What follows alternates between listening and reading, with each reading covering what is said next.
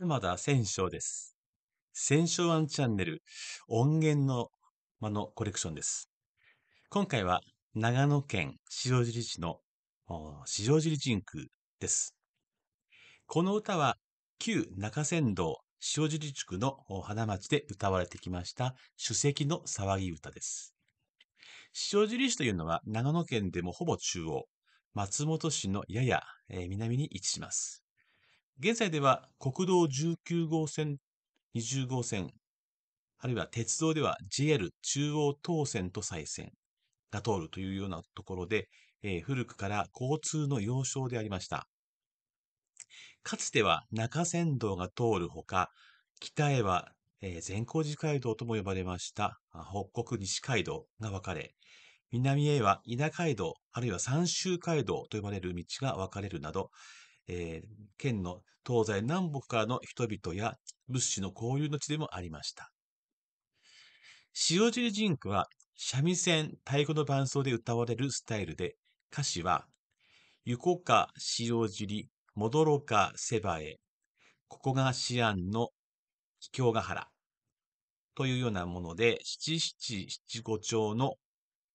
文字通りジンク形式となっています。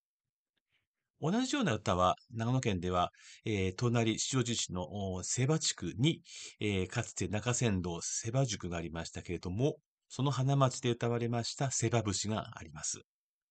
また、中山道をですね、江戸方面に少し戻りますと、えー塩尻峠を越え、えー和田峠を越えます。そして、えー小さ型郡長場町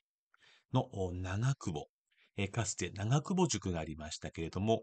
ここに長久保神宮が歌われていました。